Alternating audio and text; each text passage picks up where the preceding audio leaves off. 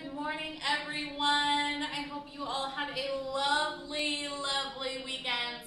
Um, I know that we took a little break from live programming last week, but we are back um, for the most part, other than people that are on vacation this week. Um, but today I'm going to do something a little bit different. Um, but before I get into that, my name is Anneliese. I'm an exercise physiologist here at Positive Choice Integrative Wellness Center. And uh, welcome to Functional Strength. So today we're going to do something a little bit different. Um, I want to focus on back health in particular. So we're going to do an entire class of back health exercises. And we're going to start with beginner stuff and we're going to move into more advanced and we're going to hit everything you need to know for a nice healthy back. So if you're having some pain, um, if you're having some discomfort or you feel like your back is not strong, uh, today's workout is for you. But know that you should modify anything that causes pain or anything that you've been advised against doing by your doctor. Um, and yeah, so let's get started. So we're to stay on the mat today. And um, I have some weights here. They are optional, and I'm going to show you how to utilize the weights to add, okay? So we're going to work back health,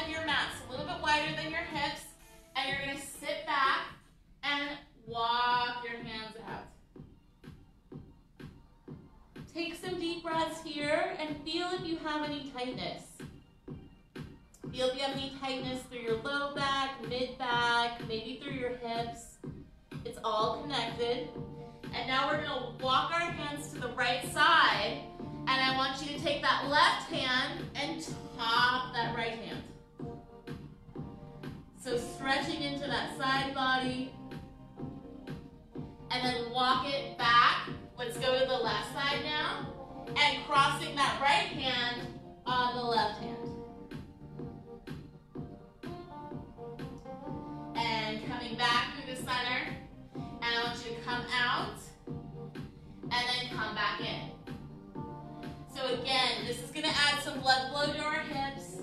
It's gonna open up that back. Good, one more. And sit back, one more back. And throughout class today, let's walk it to the right hand side. If you have any tightness, if you get any fatigue, if you need a break, child's pose is a great one to come back into.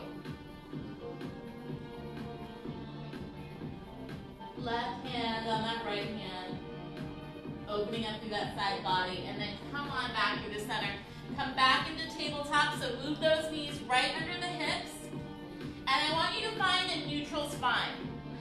So a big part of back issues is that we tend to relax our abs, and we overarch our back, and now my back is taking the brunt of my weight. So just by pulling my belly button in a little bit, my back does less work and my abs have to do more work. We want that. We want the abs to share the brunt of carrying your torso around all day. So find that nice neutral spine. And then we're gonna start out with bird dog. So take your right leg back and left arm, take it up. I want you to find stability here. And then when and if press that heel away. This pose is not about height, it's about extension. So reach to the ends of the room and pull your shoulders away from your ears. If you found stability, come on down and let's go to the other side. So starting with that foot planted, right arm extends out. Keep your head in a neutral position. And then when if you're ready, reach that leg up and reach the ends of the room. Flex that foot and imagine pressing your heel away from you. Finding stability the best you can. And then come on down. Let's go back to that other side. Reach, reach, reach. And we, we're holding this pose for a couple of reasons. The first is we're going for stability. Okay? The second is, is that I want you to cue into your body, switch sides, and I want you to find the position that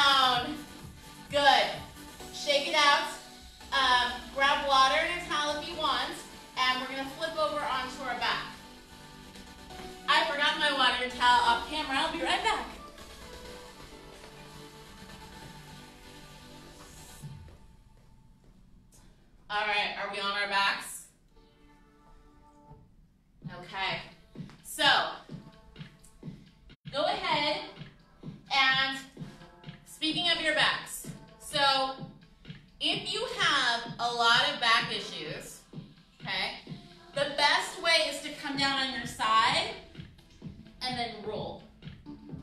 Same thing if you are getting up off the floor. Don't try and sit up. Roll to your side and then push yourself up. All right. So we put a lot of tension in our back with those bird dogs and those extensions. So we're going to start out with single knee pull-ins. And other side. So these are especially good if you're beginning, if you're having any kind of like chronic pain in your back, these single leg pulls are great to do before you get out of bed in the morning. And notice that I'm not extending my opposite leg.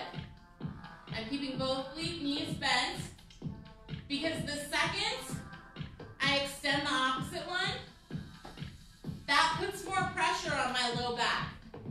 So stay here until you get stronger.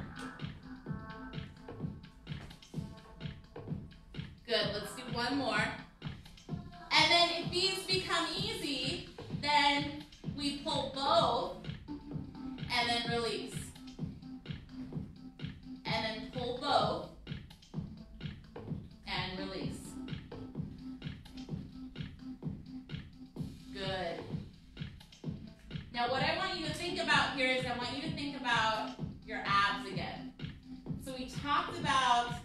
Importance of engaging the abs when we were in our prone position. But now we're in our supine position and it's the same thing. So before we move on to anything else, I want to talk a little bit about how our back and belly kind of work.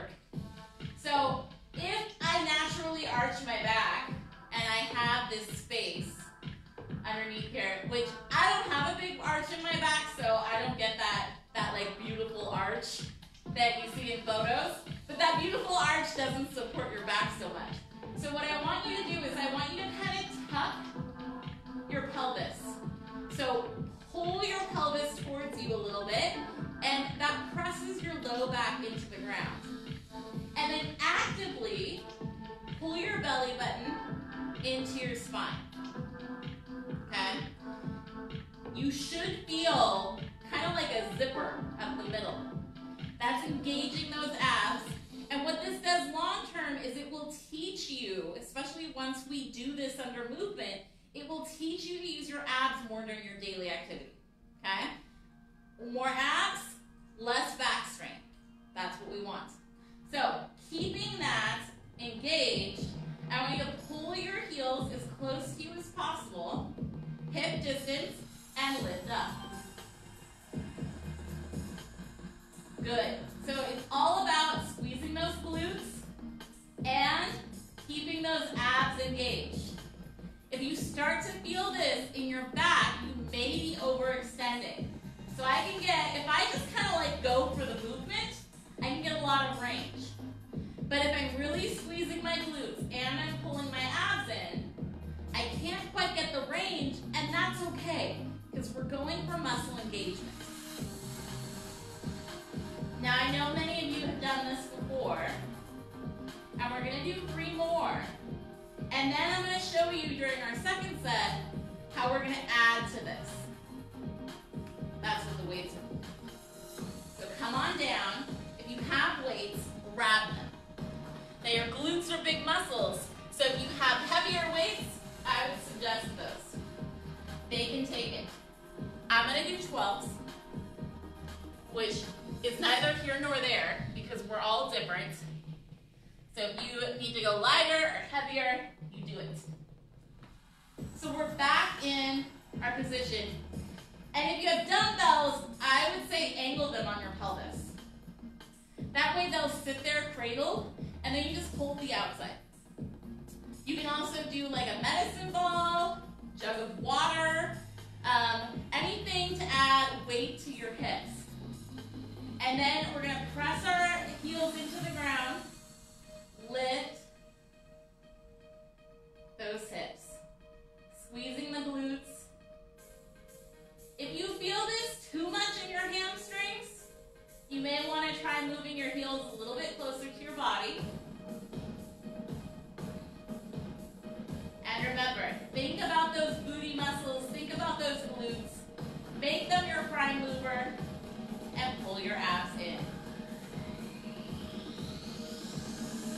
Good job. Breathe, relax that upper body.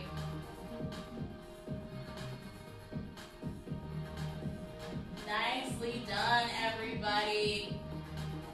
Now come up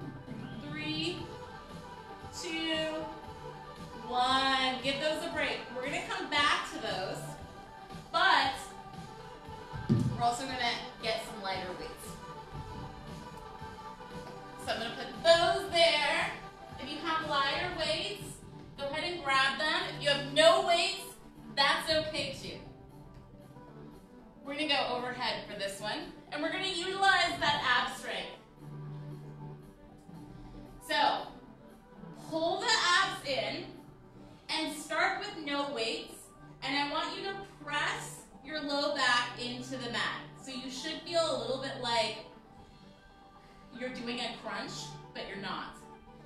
And the challenge here is that your hands are gonna stay together with those weights, and you're gonna take those weights overhead. Your arms are soft in the elbows, but they're mostly straight. And what your body's gonna wanna do is you're gonna wanna arch your back, and that's part of the challenge.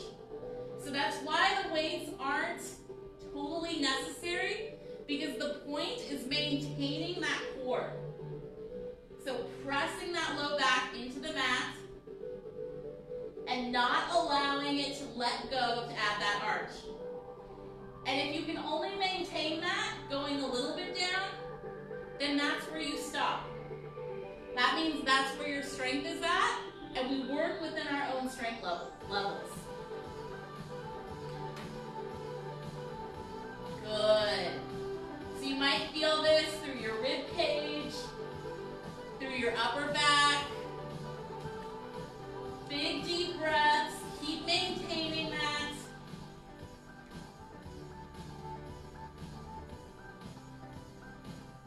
Good. Let's do one more. Keep that steadiness. All the way back and then lower them on down. I'm going to put them on each side. Okay?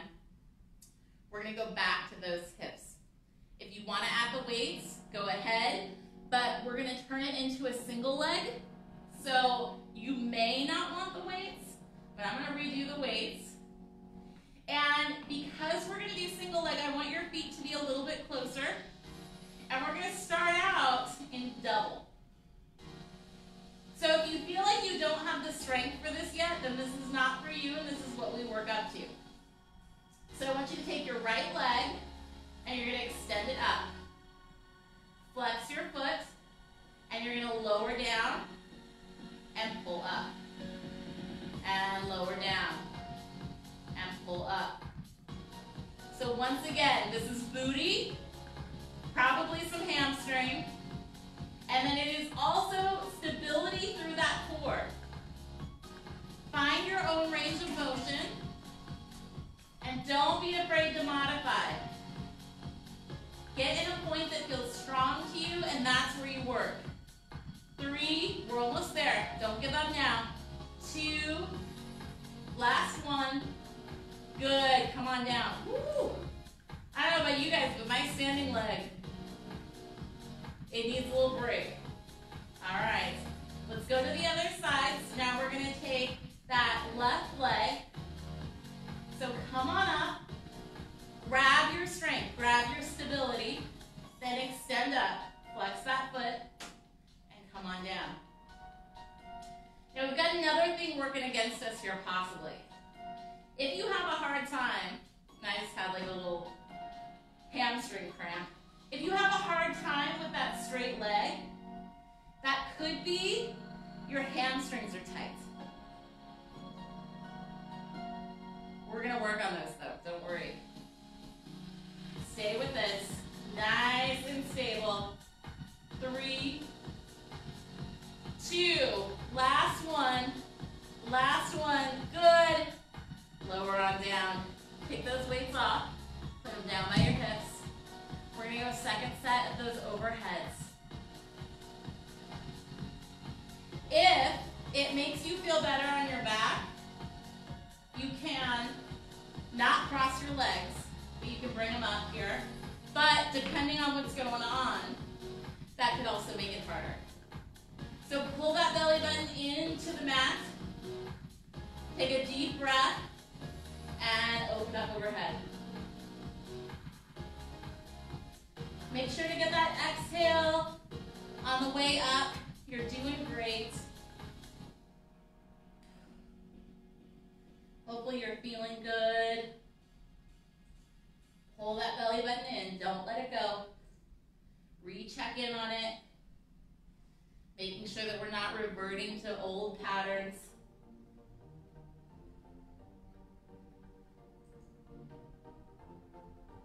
Good, you got two more. Nice and strong. And bring it up. Good. Put these down. I'm gonna move them behind me. Get water. Stretch out if you need to. Relax through that back. All right. This next one is tabletop with your legs. So, bring your legs up to 90 degrees. Now, recheck in. Belly button towards the spine, and make sure that those knees are in line with the hips. If we bring them in here, this is more of a resting position. Make them here. And don't relax here. And if you really want to engage, flex your feet so you've got all the right angles. Get it? Right angles? Dirt joke. Totally. So we're going to hold it here. And if you want to add to this, hands behind your head, relax your head, and just hold. And we're gonna hold this for about 30 seconds, you guys. This is all about stability. You got this. Big deep breaths, stay with it. I don't know about you all, but I am shaking. Pull that belly button into the ground. You got 10 more seconds. Stay with it, stay with it. Good. And come on down. Relax, relax. We're gonna do that for the supine stability, and you know we're gonna go into plank to end today. But we have one more thing. So once you get up to about 30 seconds, maybe up to a minute, holding that 90, we can add to that. And our second set, we're gonna add to that. So bring them up, head up. Now, keeping the ankles the same, you're gonna drop one leg and then bring it back. And then drop and bring it back. Good. So that extension is coming from your hips, which makes your abs have to really engage to steady this. This is not a fancy move, but it's a good one. Good job. How many more do we want to do? I don't want to do a whole lot more, I'll tell you that. Good. How about eight more? Eight. Seven. Stay with it. Stay up tall. Use your breath. There's four.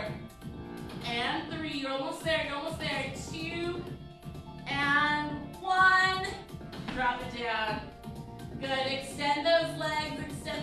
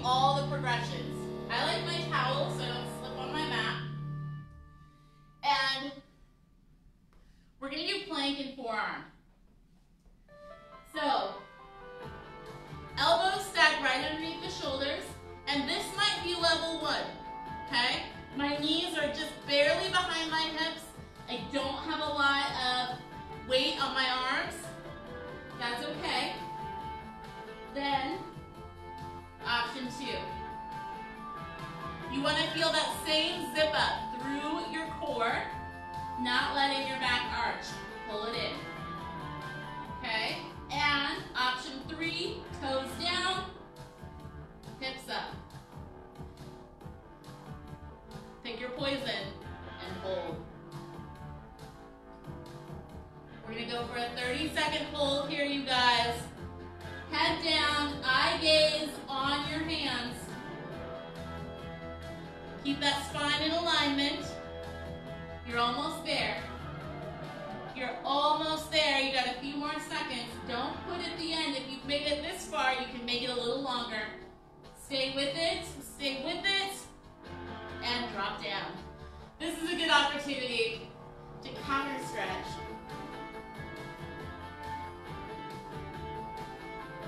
Take a few deep breaths here. Let that back relax. How would you all feel about one more plank? I feel pretty good about one more plank. I think that we should do it, right? We're here, we're set up for it. One more 30 second plank, okay? All right. So, you know all the options. Pick your option, stack it up. I'm gonna go full, and 30 seconds starts now. Pull those shoulder blades towards your spine. Engaging all the way through your body. Quads, glutes, calves, everything is going. And shoulders are away from your ears.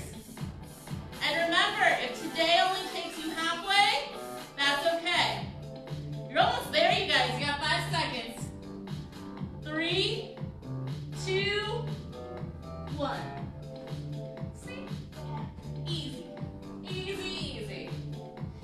it wasn't easy, but all that means is you gotta do it. You gotta do it. Because if something is easy, it means you're in maintenance mode. If something feels challenging and you dislike it, it means you gotta do it because you're gonna benefit from it. All right, big deep breath, kick it in. Exhale, since we're here, grab those hands behind. So now we've gone through all the strength parts. Now we're gonna deal with the other half of what usually causes us issues with it, which is tightness. Okay? So, since we're here, we're gonna start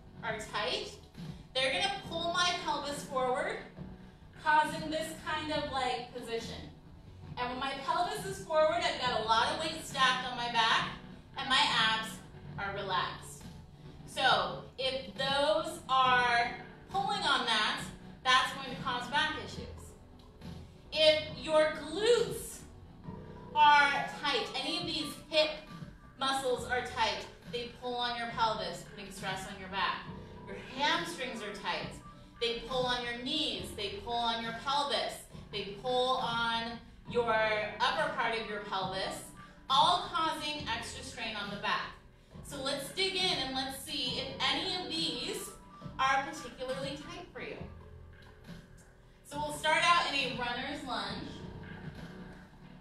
And I have kind of sensitive knees. They don't really like to have pressure on them too long. So you can fold up and put under your knee here. And then I want you to take that opposite leg and step way forward. And then before I even go into that, push your hips so that they are going straight forward. Okay? It's really easy if I open up and kind of like not gonna get it. So square those hips up and then lean forward. And adjust your knee as it feels comfortable and press into that hip flexor. And if you need, you can use something like your water bottle if you can't quite come down. Okay? Good. And really square up those hips. You should be feeling that deep stretch through your hip flexor here. Deep breaths, really digging into here.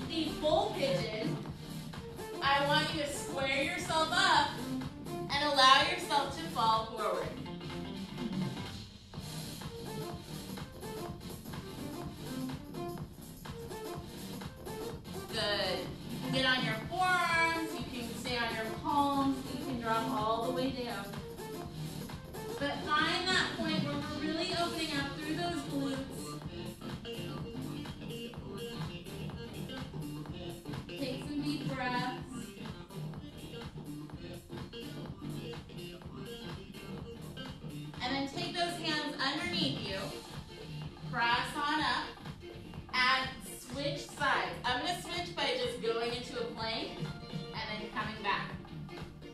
That can be part of your strength exercise as well.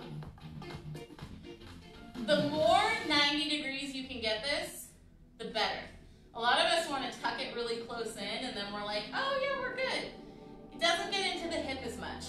So as far out as you can take it, and then square those hips towards the ground. That will really allow that hip to open up. And then choose how deep you want to go into it. Grabbing down to the forearms. You can also get lower as we sit into this stretch.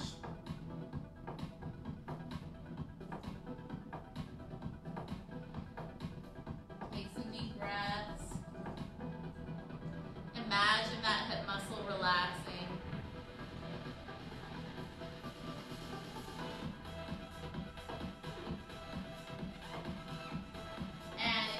Bring those hands on up underneath your shoulders. Bring yourself up. Now instead of switching, we're gonna, I'm just gonna bring in my back leg. And I just wanna get some twists here really quick. Good. Just feeling out if you have any tight spots. Let's go to the other side.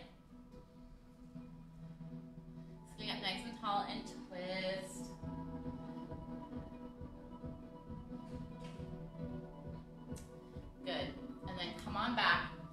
I want you to grab a strap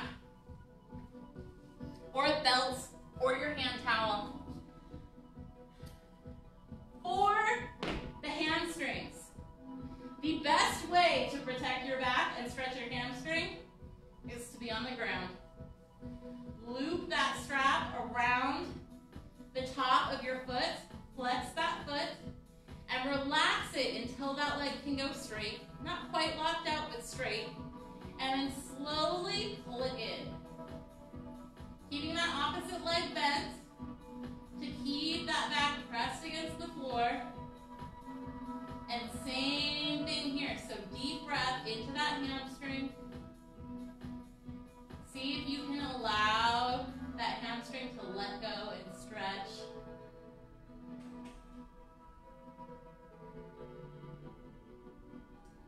Big, big, deep breaths. Here, let it go a little bit, and then let it fall across your body. So you might feel a stretch through your IT band, which runs along the side, but because we're focusing on our back, I want you to bend that leg, get rid of that IT band stretch, and let that knee fall across your body. Getting a big twist through the spine, letting all of that tension go.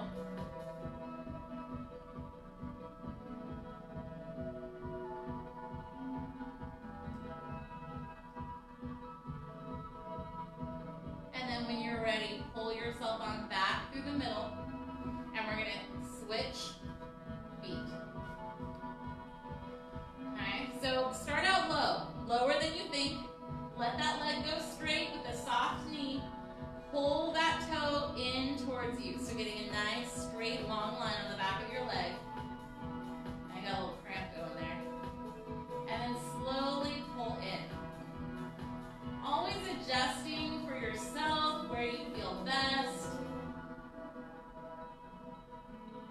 If you find your muscle starts to shake, let it go a little. Let it go a little. You don't want your muscles spasming, shaking. It means it's a little bit too much load. Stretching should feel good. It should feel like a relaxation. Imagine pulling those muscles apart like putty. And then now let's let that knee bend a little bit. Drop it over across your body. Bending that knee. And then extending that opposite arm out. Letting gravity allow that spine to twist.